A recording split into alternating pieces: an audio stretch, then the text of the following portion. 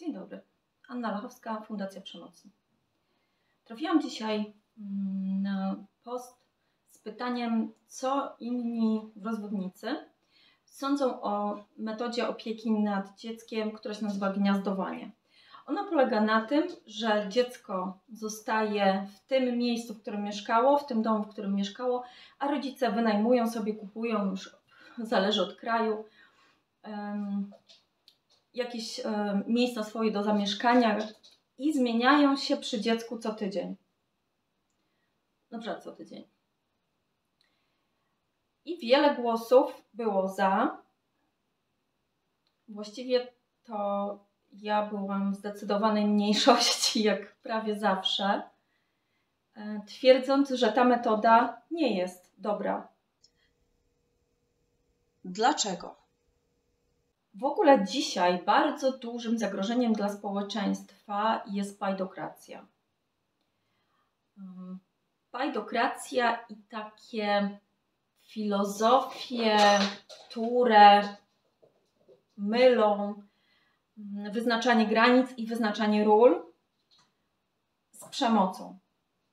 Pajdokracja to jest oczywiście system, w którym rządzą dzieci i w takim gniazdowaniu mamy do czynienia z taką sytuacją. Dlaczego? W takim układzie dziecko jest w centrum, jest centralnym punktem e, swojego świata, a rodzice dostosowują się do niego.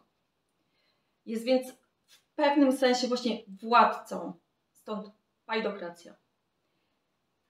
Taka sytuacja jest w rozwoju ściśle określona pod względem swojego miejsca i funkcji. I jeśli to jest przeciągane dalej, to doprowadzamy do zaburzeń funkcjonowania społecznego, funkcjonowania psychologicznego, rozwojowego, być może do zaburzeń funkcjonowania osobowości. Dlaczego? Faza narcyzmu pierwotnego obowiązuje w naturze dotąd, dopóki życie niemowlęcia jest w całości zależne od opieki matki. Jest to konieczne, dopóki dziecko nie potrafi nic innego niż sygnalizować płaczem swoje potrzeby. Natomiast gdy ten moment się kończy, dziecko potrzebuje nauczyć się funkcjonować i osiągać swoje cele samodzielnie w inny sposób niż poprzez bycie centrum wszechświata. Dziecko, kiedy się rodzi, nie wie, że nie jest matką, nie wie, że nie jest światem. Wydaje mu się, że jest całym światem. Nie ma procesu, nie ma tej indywiduacji. I później dziecku wyostrza się wzrok, ono zaczyna się uczyć, że nie jest jedyne na świecie, że jest y, drugi obiekt, czyli matka, to się nazywa obiekt wówczas jakiś dorosły, który karmi, grzeje, zmienia pieluchę, reaguje na moje potrzeby. I dziecko szybko robi wszystko, by zacząć zaspokajać swoje potrzeby samodzielnie.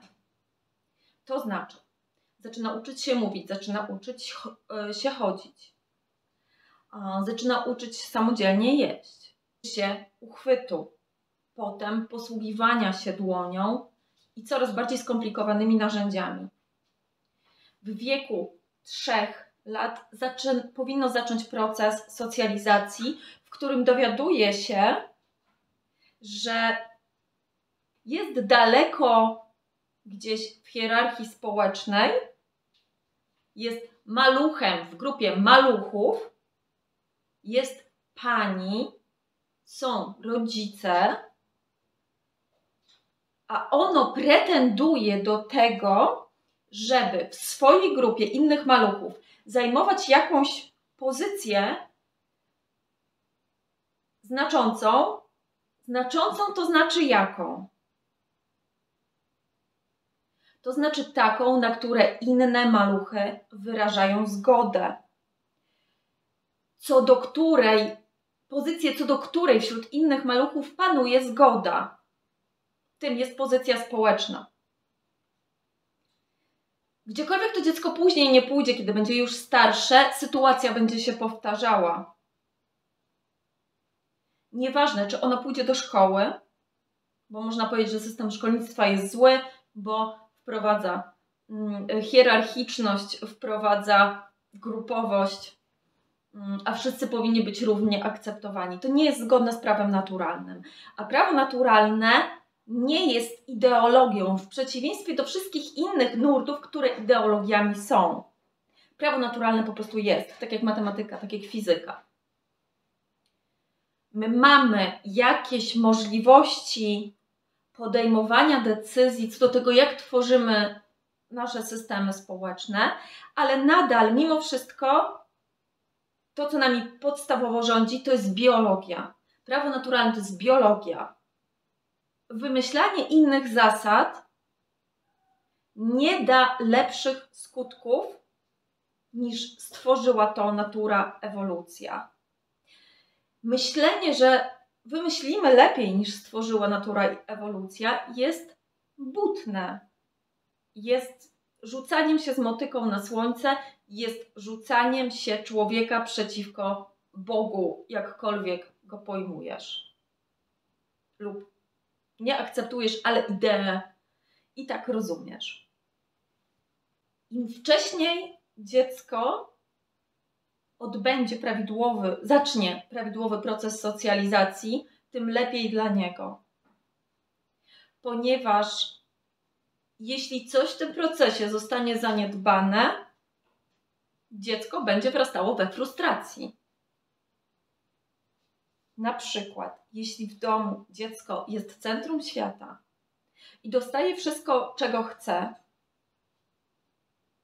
wymusza to płaczem, tupaniem, albo rodzice wręcz wyprzedzają jego potrzeby, to dziecko będzie do tego przyzwyczajone i będzie to próbowało egzekwować na swojej grupie rówieśniczej. Skończy się to tym, że będzie w tej grupie wykluczony być może poniżany, być może będzie ofiarą przemocy. Być może będzie ofiarą obrony innych dzieci przed nim samym. Jeśli dziecko będzie przekonane, że jest centrum świata, to pani, która uczy w przedszkolu kolorów i cyferek, nie będzie dla niego autorytetem, w związku z czym ono nie będzie się chciało od niej uczyć ono będzie chciało jej rozkazywać, będzie robiło z nią próbę sił. Efekt będzie taki, że nie skorzysta z procesu edukacji. Dlaczego gniazdowanie ma coś takiego wywołać, wytworzyć? Dlatego, że dziecko w całym procesie wzrostu, dojrzewania, indywiduacji, kształtowania się osobowości, kształtowania swojej pozycji społecznej, ono podąża za rodzicem. Taka jest naturalna rola dziecka tu się wydaje tak na pierwszy, mm, na pierwszy rzut oka, że to gniazdowanie przecież jest zgodne z prawem naturalnym. Pisklęta siedzą e, w gnieździe, a rodzice tylko na zmianę do niego przylatują. Po pierwsze, ptaki raczej w zdecydowanej większości razem zajmują się pisklętami, w związku z czym to, że przylatują na zmianę, to nie jest opieka naprzemienna to jest po prostu zwykłe zajmowanie się dzieckiem we dwoje. Tak jak jeśli oboje jesteśmy w domu, czy jedno z nas chodzi do pracy, czy oboje chodzimy do pracy, zmieniamy się przy tym, to nie jest opieka, gdzie dziecko piskle jest właścicielem gniazda, a rodzice są gośćmi. Pisklęta, tak, wychowane przez oboje rodziców, są uczone bardzo szybko samodzielności i kiedy e, tę samodzielność, czyli zdolność latania osiągną, tu opieka się kończy. My nie jesteśmy ptakami.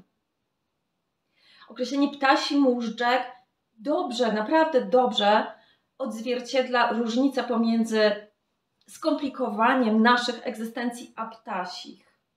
Ptasia psychika jest prosta jak konstrukcja cepa. Niewiele bardziej skomplikowana od umysłu gada o wiele mniej skomplikowana od konstrukcji mózgu ssaka.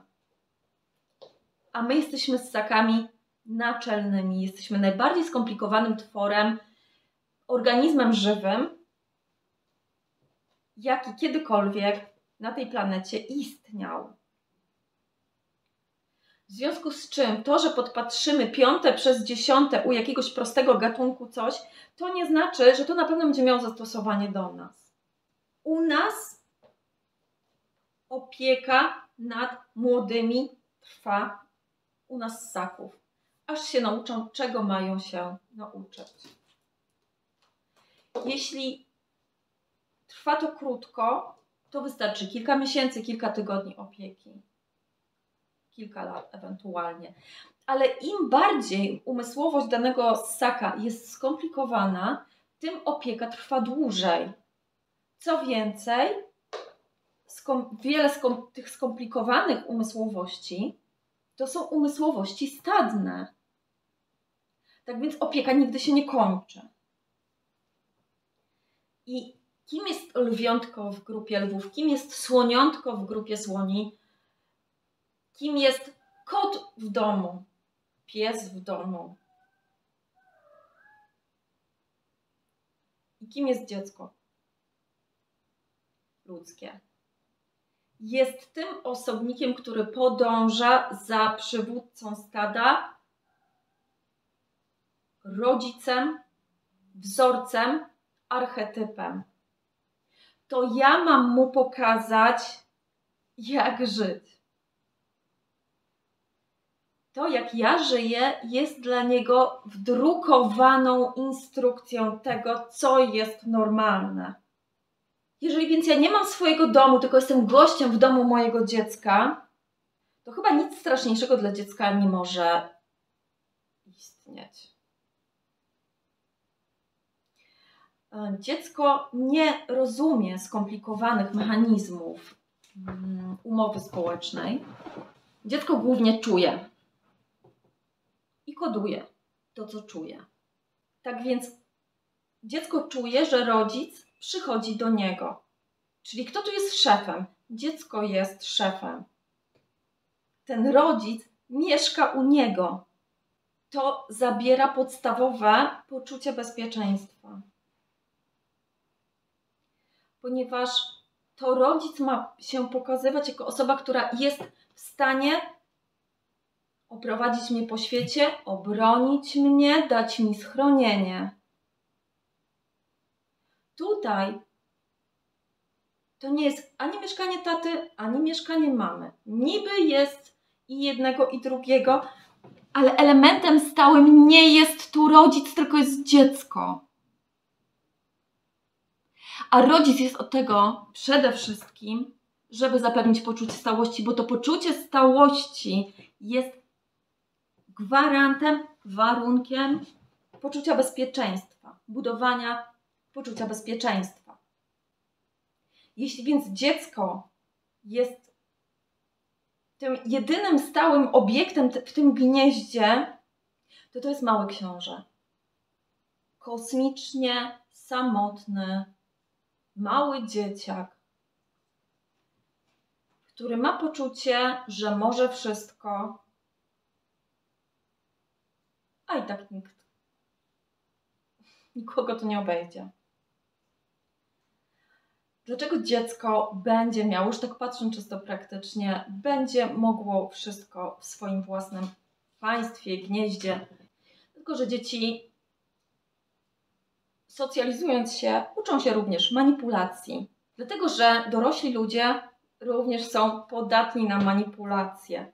Dlatego, że dorośli ludzie mają swoje antypatie i one nadzwyczaj często dotyczą byłego partnera. Dlatego, jeśli żaden rodzic nie sprawuje stuprocentowej kontroli, to dziecko będzie to wykorzystywało do własnych celów. W tygodniu, w którym mama mi nie pozwala u mnie w mieszkaniu na coś, tata mi pozwoli. Jasne, że tak może być też przy opiece naprzemiennej. Ale to jest coś innego, ponieważ przy opiece naprzemiennej w obu domach oboje rodziców jest władcami, a więc stanowi w 100%. I oczywiście są jakieś tam rozmowy między rodzicami, jakieś przepychanki albo jakieś zgody, jakieś wspólne strategie, różnie. Natomiast ten archetyp to jest władca. W tym domu królową jest moja mama. W tym domu królem jest mój tata. A w tym domu ja ich przyjmuję, ja jestem królem. To są aż tak proste skojarzenia, ponieważ umysłowość dziecka jest prosta. Ona się komplikuje w procesie dojrzewania i jeśli na początku wgramy jakieś dane, które nie powinny się tam znaleźć, to na podstawie tych danych będzie budowana cała reszta systemu informacji, bazy danych. Dziecko więc nauczy się w takiej sytuacji, że nie ma stałości. Dziecko nauczy się, że jest władcą. Dziecko nauczy się, że osiąganie swoich celów polega na rozgrywaniu jednych ludzi przeciwko drugim lub ukrywaniu prawdy. Jasne, że to zawsze jest takie ryzyko, oczywiście, tylko że ta sytuacja sprzyja temu wyjątkowo mocno. Kolejna sprawa jest taka, że, tak jak wspomniałam wcześniej, dziecko jest kimś, kto podąża za dorosłym i korzysta z jego zasobów. Ucząc się równocześnie, w jaki sposób zdobywa się zasoby jeśli dziecko jest na swoim terenie, to ono emocjonalnie odbierze to tak, że to mieszkanie, to jedzenie to są jego zasoby, naturalnie mu się należące. Jaką postawę w ten sposób kształtujemy? Roszczeniową. Przyzwyczajenie do luksusu. Brak skojarzenia pomiędzy pracą a a dobrami. Rodzice prowadzący swój dom, w którym dziecko dostaje w którymś momencie pokój, może dostało od razu, może mieszka z rodzeństwem, potem dostaje, dostaje swój pokój, dostaje swoje zabawki, widzi, jak rodzice rozmawiają o pieniądzach, słyszy od rodziców albo od jednego rodzica, że nie ma na to pieniędzy, nie ma na tamto pieniędzy, że musisz posprzątać, żeby coś dostać, osiągnąć, że musisz zrobić coś w zamian za to, że coś dostaniesz, albo żebym ja mogła ci dać. Chcę powiedzieć przez to, że dziecko funkcjonuje w normalnym gospodarstwie domowym, w którym widzi, że to ono jest tym maluchem, a ten rodzic tworzy cały ten świat, całe to gospodarstwo domowe. Sytuacja jest naturalna, jest prawdziwa. W sytuacji, gdy ci rodzice się zmieniają, ta sytuacja jest laboratoryjna. Oczywiście dziecko też może słyszeć te same rzeczy. Tylko, że dobra materialne biorą się w jego odbiorze znikąd, bo nie widzą rodzica w realnym procesie życia. Widzą go połowie, jakiejś wyekstrahowanej połowie przeznaczonej na to dziecko. W jakiejś wyekstrahowanej połowie, gdzie ten rodzic nie jest władcą tej przestrzeni. Bo nie jest, bo, bo tam równy, równym jej władcą jest były partner, a więc nikt nie jest u siebie. A więc to jest twór stworzony i odsunięty od życia na potrzeby dziecka. Jakie to jest w ogóle emocjonalnie smutne. Rodzice utworzyli jakiś twór, przepraszam, oni go nie utworzyli, porzucili dom na rzecz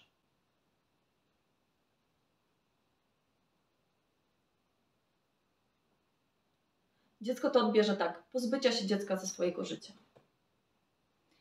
Dziecko nie będzie widziało rodzica w czasie wolnym. czasie wolnym tego rodzica. Rodzic, który będzie przychodził do dziecka co drugi tydzień, będzie poświęcał jemu więcej czasu, a mniej sobie. Więc dziecko nie pozna tego rodzica z jego potrzebami, z jego normalnym trybem. Dziecko pozna rodzica na swoich usługach. I rodzic przestaje być wtedy prawdziwym człowiekiem w ogóle w odbiorze tego dziecka. Jest taką, takim, taką służbą. Ja nie podaję rozwiązań, opinii jednoznacznych. Ja tylko mówię, co to konkretne rozwiązanie wygeneruje. Opieka naprzemienna również wygeneruje brak poczucia stałości. Natomiast dziecko nauczy się hierarchiczności i tego, że musi pracować i zdobywać oraz będzie obserwowało swojego rodzica w prawdziwych sytuacjach życiowych.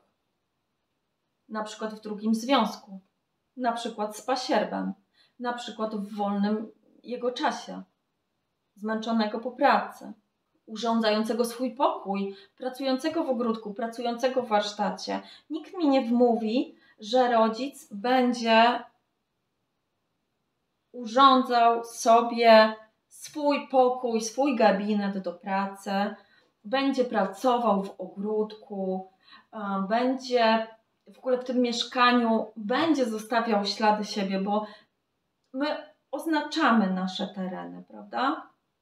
stawiamy rzeczy, które nas reprezentują, które się nam z czymś kojarzą. Ten dom nie będzie domem rodzica. On nie będzie tutaj żył. Nie będzie więc tworzył domu. Nie będzie więc tworzył na oczach dziecka tożsamości. Dla dziecka więc najpierw on nie będzie miał tożsamości za bardzo, a potem dziecko się zorientuje, że jest odsunięte od prawdziwego życia rodzica. Rodzic ma partnerkę, właśnie pasierba, ma swój dom. Jakie w ogóle to musi być raniące, że rodzic ma swój dom i dom mojego rodzica nie jest moim domem. Jeśli tam jeszcze w ogóle będzie mieszkał pasierb, to dziecko na pewno poczuje się odrzucone, gorsze drugiej kategorii. Więc czego się możemy spodziewać po dziecku 15-letnim, którego rodzice weszli w nowe związki, mm, właśnie mają pasierbów, tworzą swoje domy. Możemy się spodziewać, że dziecko będzie kompensowało sobie dorosłość, a więc szybko na przykład zaczną się pojawiać insygnia dorosłości, papierosy, alkohol, seks. Dziecko będzie wściekłe, nie wiadomo na co. Będzie bardzo wściekłe na odrzucenie przez grupę rówieśniczą, faktyczne i urojone. Faktyczne, bo tak, dziecko, które nie będzie nauczone hierarchiczności i podążania za rodzicem, czyli za mądrzejszym, za starszym, za bardziej doświadczonym, będzie przez grupę wykluczane, będzie nielubiane, ponieważ będzie bardziej aroganckie niż przeciętne inne dziecko. Będzie bardziej egocentryczne i bardziej egoistyczne. Dlatego, że rodzice takiej roli w świecie go nauczą z drugiej strony będzie się czuło bardzo wykluczone właśnie przez rodziców, więc jeśli ktokolwiek z rówieśników będzie przejawiał mm, jakieś oznaki własnego życia, jakieś własne sprawy, o których ja nie słyszałem, moja przyjaciółka z ławki mm, rozmawia z inną dziewczyną albo usiadła z inną dziewczyną, to ja już mam wdrukowane poczucie, że mój rodzic ma swój własny dom i swoje własne życie, którego ja częścią nie jestem. Więc ta frustracja będzie się kompensowała kosztem takiej przyjaciółki z ławki. Potem pojawi się związek i pojawi się chora zazdrość.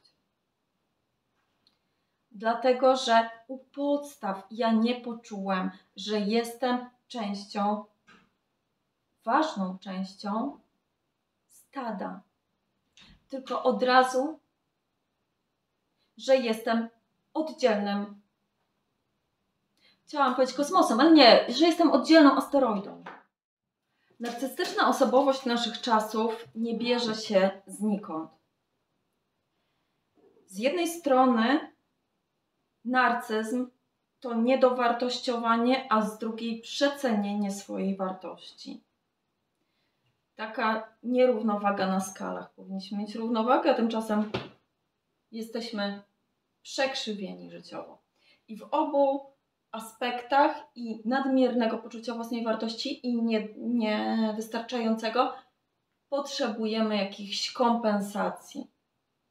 W naszym życiu panuje chaos i wprowadzamy go w życie innych osób. I sytuacja gniazdowania jest idealną sytuacją, aby wychować narcyza. Z jednej strony centrum świata, pępek świata, który przyjmuje u siebie dorosłych. Z drugiej strony dziecko, które zostało porzucone przez oboje rodziców. No i powiemy, że nie zostało porzucone. Powiedzcie to małemu dziecku, które zostało w domu, w którym nie ma na stałe przywódcy stada. Z jednej strony dziecko ma oboje rodziców na wyłączność, z drugiej nie ma dostępu do ich życia. Z jednej strony dziecko, które się nie uczy, że w stadzie jest na końcu i musi dużo się dużo nauczyć od rodziców, żeby dom tworzyć. Z drugiej strony dziecko z każdym dniem coraz bardziej świadome tego, że ten rodzic ma gdzieś życie i ma w nim prawdopodobnie innych ludzi i ma w nim prawdopodobnie inne dzieci. Raczej to dziecko będzie te dzieci znało. Będzie z nimi wyjeżdżać na wakacje. Zawiść po obu stronach będzie rosła pasier, pasierbica będą zazdrosne wobec tego dziecka o to, że ono ma dom dla siebie i oboje rodziców do, nie, do niego przychodzi. A to jest taka sytuacja luksusowa, by się wydawało. Każdemu dziecku zbuntowanemu, a każde dziecko jest mniej lub bardziej zbuntowane, bo taka jest po prostu kolejność dojrzewania. Bunt się musi pojawić. Dziecko z kolei będzie zazdrościło pasierbowi, pasierbicy uczestnictwa w normalnym, prawdziwym domu. Ciężko mi jest sobie wyobrazić sytuację gorszego wyekstrahowania ostracyzmu niż ta złota klatka. Bo to po prostu złota klatka. Zobaczcie jeszcze, jakie to jest w ogóle myślenie. To ma dać dziecku poczucie bezpieczeństwa, tak? Czyli uznajemy, tak jak w nieżyczliwych bardzo opiniach o kotach, że koty przywiązują się do miejsc, a nie do ludzi, w związku z czym dziecko jak kot, co oczywiście nie jest prawdą o kotach, że dziecko, tak jak kot, bardziej się przywiązuje do miejsca niż do ludzi, więc zostawiamy je w domu. Moje życie jako matki się zmienia, czyli jako ojca się zmienia, ale dziecko nie jest do mnie na tyle przywiązane, żeby wejść ze mną w nową sytuację życiową. Jest tak przywiązane do domu, że ja je wyrzucam ze swojego życia, przeznaczając na nie jakiś tam czas w tym życiu, zamiast je wziąć. A jakim ciężarem ono się będzie czuło? Albo ciężarem, albo będzie się czuło nieatrakcyjne dla rodzica, albo jedno i drugie.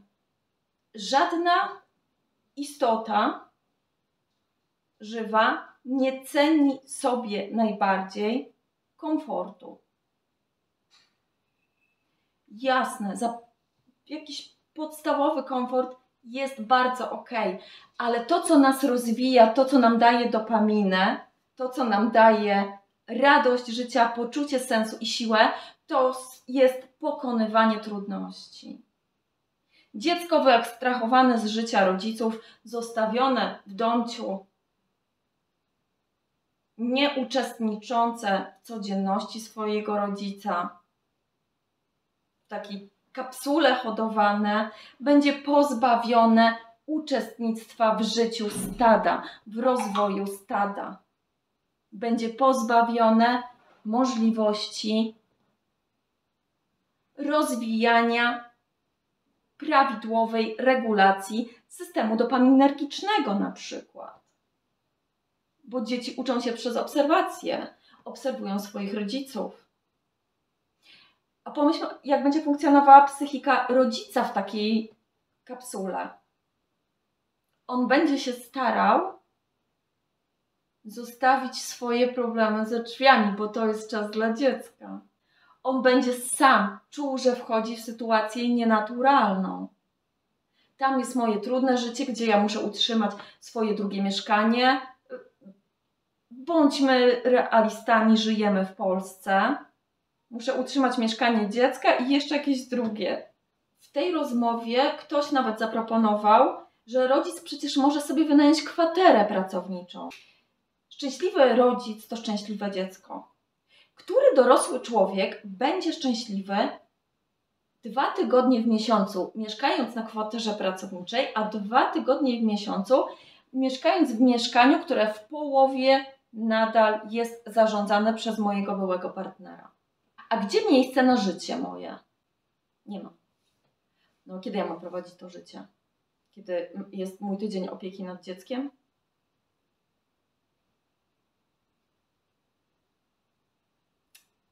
ale mam się zadamawiać w tym domu, w którym połowę władzy, własności stanowi mój były partner? Czyli mam tkwić w przeszłości, albo co gorsza, w jakimś mimo wszystko mniejszym lub większym napięciu i konflikcie? Pary się nie rozstają, dlatego że się kochają. Mm. A jak mam budować związek? Czy mam już nie budować związku? Czy mi się już nie należy? Mam swój wymarzony ogródek, swojego wymarzonego grilla, swojego wymarzonego psa mieć u dziecka, czy w, te, w tej kwaterze pracowniczej? A kiedy mam wyjść do kawiarni, kiedy mam wyjść do teatru z tej kwatery pracowniczej, jak student, mając lat 45 na przykład? Dla samego rodzica taka sytuacja jest nienormalna niebezpieczna emocjonalnie. Wprowadza w jego życie brak stabilności, a więc i brak poczucia bezpieczeństwa. Brak dopaminy, bo tu nie wiadomo co budować, bo wszystko jest poszatkowane. Nie ma jednej linii życiowej, tylko są dwa oddzielne życia z dzieckiem bez dziecka. Wiecie, naprawdę model, w którym dziecko zostaje z jednym z rodziców, a z drugim się widuje, jest najbezpieczniejszy dla rodziców i dla dziecka. Oczywiście, że tu się pojawiają nadużycia, patologia w postaci alienacji rodzicielskiej, ale nadużycia i przemoc to się mogą pojawić zawsze i wszędzie. A sama sytuacja, gdy dziecko zostaje z jednym rodzicem, a drugie płaci alimenty i się z nim spotyka, nie jest zła. Jest naturalna. Oboje rodzice mogą stworzyć swoje życia. Dziecko może, dziecko żyje na przykład jakiś czas z rodzicem, bo tak zazwyczaj jest. Jeśli nie ma jakiejś bardzo chorej sytuacji po rozwodzie, a rodzice są jacyś przytomni, to tak jest, że dziecko pewien czas mieszka z matką, a potem chce się przeprowadzić do ojca a potem się wyprowadza. I to jest naturalna kolej rzeczy. Dziecko najpierw potrzebuje opieki, Potem potrzebuje konfrontacji w swoim rozwoju. Bycie nastolatkiem to przede wszystkim czas konfrontacji, czas ustalania granic, czas ustanawiania swojej własnej siły i to jest czas ojca. Do 9-10 roku życia dziecko potrzebuje przede wszystkim opieki. Oczywiście też zasad, też granic, jasne, ale to nie jest tak, że kobieta ich nie stawia. Ale ojciec daje tę energię męską, tak teraz mm, popularnie to jest ujmowane. Przygoda, wyzwania, trudności. Dziecko, kiedy wyjdzie od matki ze zbudowanym poczuciem bezpieczeństwa, bo miało również kontakt z tatą, który był tym od prezentów, od rozrywki, od zabawy, od pomocy w trudniejszych sytuacjach, to będzie gotowe zacząć uczyć się od ojca, bycia przywódcą, bycia odpowiedzialnym, męskich tak zwanych spraw i wyzwań. A poczucie bezpieczeństwa, które zostało, było zakorzenione w matce, w domu matki, przez matkę, jest reprezentowane przez matkę, ono nie zniknie, bo ono już było i już się stworzyło, a ta matka nadal jest. Jest zawsze punktem odniesienia, zawsze można do niej się zwrócić. Zamiast kombinować, wymyślać coraz dziwniejsze rozwiązania, które mają skompensować jakieś wydumane niepokoje, to najlepiej zawsze zająć się tym, żeby moja własna głowa była w porządku. Wtedy ja jestem jak najbardziej w porządku wobec innych osób, a więc i wobec mojego byłego partnera. I w sprawie dobra dziecka mamy większe szanse się dogadać. I wówczas opieka codzienna, mieszkanie z jednym rodzicem i kontakt z drugim nie jest niczym złym. Nie jest niczym szkodliwym.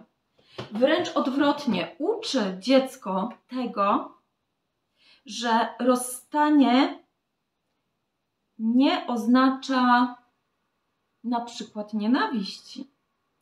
Nie oznacza na przykład niekontynuowania obowiązków.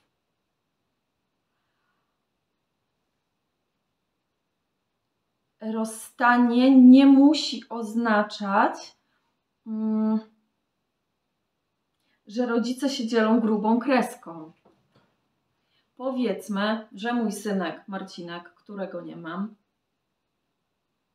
mieszka ze mną, a jak tata ma bardziej wolne, to jeździ do taty, część weekendów spędza ze mną, część dni mieszka sobie u taty czasami, tak, ma tam jakiś swój kącik. Ale mniej, generalnie sytuacja wygląda tak, że od piątku do soboty powiedzmy jest ze mną, w weekendy jest z tatą. Ja czasem potrzebuję wolny weekend, więc on jest wtedy cały weekend. A tak to tata go bierze na niedzielę na przykład. Można się mówić. Można mieszkać blisko, można mieszkać blisko siebie. Czy w takiej sytuacji dziecko może czasami zjeść obiad w domu ojca i odrobić tam lekcję i przyjść do mojego domu o 19? Może. A czy może dziecko zadzwonić, że dzisiaj zostaje u taty? Może. A czy może być tak, że to tata odprowadza dziecko i wchodzi do mojego mieszkania i tam czekają na mnie chwilę? i ugotuję jakiś obiad albo odgrzeję to, co ja zrobiłam. Może tak być. Po co udziwniać? Co taka sytuacja, o której przed chwilą opowiedziałam, pokazuje dziecku? To, że z końcem miłości nie kończy, nie kończy się szacunek. To, że z końcem miłości nie musi kończyć się obowiązek i współpraca. A co pokazuje gniazdowanie? Że rodzice nie chcą mieć ze sobą do czynienia. Że rodzice odcięli się grubą kreską. Dziecko nie zobaczy tej współpracy. że oni utrzymują wspólnie mieszkanie, w którym dziecko mieszka. Nie, dziecko zobaczy, że oni nie przebywają razem. Nie, nie ma naturalnego przepływu tej opieki nad tym dzieckiem. Nie ma interakcji. Powiedzmy, że Marcinka pobili w szkole. Dzisiaj ja go odbieram. Na świetlicy go pobili, pani nie zareagowała. Jaki jest problem z tym, żebym zadzwoniła natychmiast do jego ojca i mu to powiedziała, i żeby zaczekać chwilę na tego ojca, a ten ojciec zaraz podjedzie, bo mieszka niedaleko, pracuje niedaleko, zaraz podjedzie i to on porozmawia z tym, kto Marcinka pobił. A ja sobie porozmawiam z panią wychowawczynią na przykład. To jest właśnie naturalne wychowanie z ojcem i matką. Pokazanie naturalnych sytuacji i spraw. Dostęp do ich domów, czyli do ich życia, czyli do ich tożsamości. Tu wystarczy dobra wola, nie trzeba szukać przedziwnych rozwiązań nowatorskich. Takich rozwiązań się szuka i szuka, kiedy sobie nie można poradzić samemu ze sobą. Po to szukamy diet cud, że ciężko jest nam zrezygnować po prostu z obżerania się. Po to rozgrzebujemy swoje własne, osobiste problemy na kolejnych terapiach, żeby się po prostu nie skonfrontować tak naprawdę ze swoim problemem. To są wszystko tematy zastępcze. I gniazdowanie jest tematem zastępczym dla tematu prawdziwego, istotnego, którym jest to, że rodzice nie chcą odłożyć swojego ego na bok i się dogadać. Ten odcinek, tak jak i większość tych, które teraz będą nagrywane, będzie w dwóch wersjach. W wersji ocenzurowanej na publicznym kanale i wersji nieocenzurowanej w opcji dla wspierających. W opcji dla wspierających znajdzie się też większość starych filmów Fundacji, a w opisie podlinkuję inne fundacyjne filmy, które z tym tematem są powiązane. Ten film ma drugą, całkowicie nieocenzurowaną wersję dla wspierających. Fundacja Przemocnie nie jest dotowana przez Rzeczpospolitą Polską ani Unię Europejską. Utrzymuje się wyłącznie dzięki dobrowolnym wpłatom naszych odbiorców oraz klientów. Dlatego, jeżeli doceniasz naszą twórczość i chcesz mieć dostęp do bogatego archiwum naszych dotychczasowych filmów, zostań wspierającym. Kliknij w Wesprzyj i uruchom subskrypcję za jedyne 30 zł miesięcznie. Wspierając kanał, będziesz miał też dostęp do rozszerzonych, nieocenzurowanych i bardziej osobistych wersji naszych filmów i innych informacji, które podajemy do wiadomości publicznej. Jeżeli któryś nasz film wyjątkowo Ci pomógł, bądź przypadł do gustu, kliknij w podziękuj i wybierz jedną z czterech kwot, za którą wykupisz możliwość podziękowania nam w specjalnie przeznaczonym do tego komentarzu. W obu przypadkach kieruj się instrukcjami, które wskazuje Ci serwis YouTube. Są bardzo proste i czytelne. Dziękujemy. Dziękujemy. Dziękujemy. Dziękujemy. Dziękujemy.